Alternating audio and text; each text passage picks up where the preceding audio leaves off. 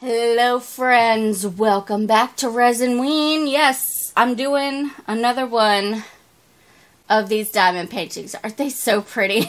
um, I absolutely loved the way that the other one turned out. I will put the link up in the iCard if you have not seen it. It was spectacular, spooktacular even. Um, we're going to do the same thing with this, except we're going to do it a smidge different. I am going to still have the black background in there, but I'm going to add some um, some of my Kat Scrappiness good goodness that I have.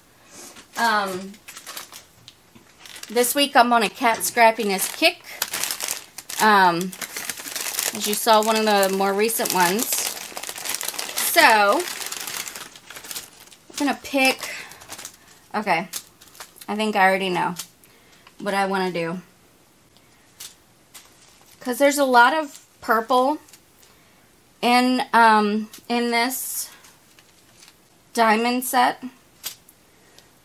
So, I think I want to do some of that stuff. So let's, there's just so, there's so much. Um, so let's scroll through and see which ones. I like this one a lot. Um,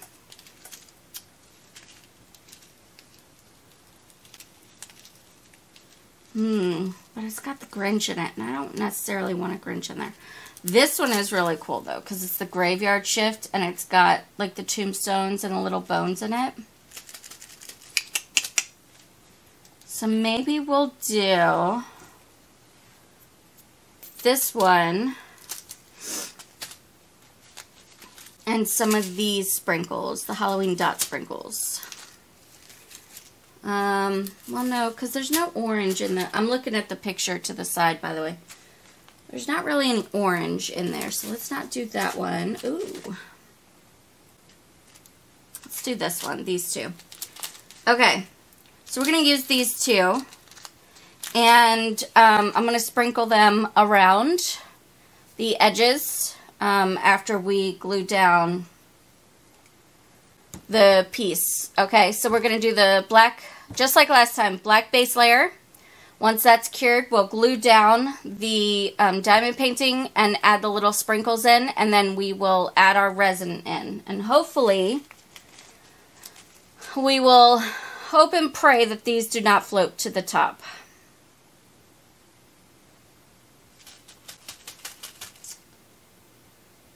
Hmm. Now I'm wondering, should I add these in before the black is completely cured? You know. I don't know. We'll cross that bridge when we get there. Okay? Alright. So, cute and simple one today, you guys. So, let's go ahead and let's get our resin warmed up and mixed up and poured and we'll get started.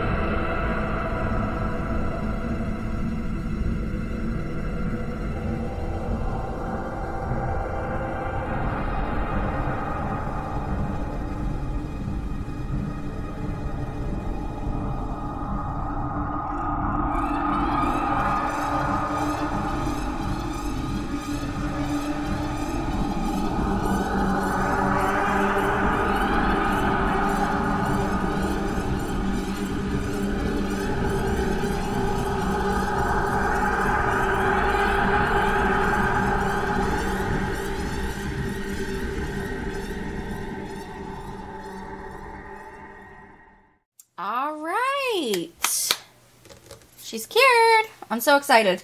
Um, oddly enough, I was having an issue where a couple of these pieces wanted to float, even though, was it yesterday?